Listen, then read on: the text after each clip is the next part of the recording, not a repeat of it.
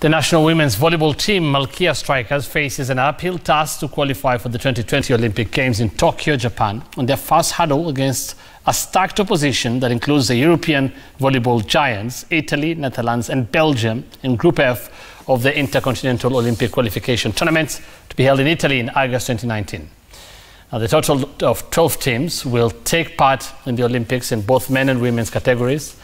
As Japan is guaranteed a berth as the Olympic host, this means that 11 teams will fight for a spot in the Tokyo Games, where the six winners of each group in the inter intercontinental qualification tournaments will qualify. This leaves a further five spots left, which will be determined in five continental Olympic qualification tournaments, one in each confederation.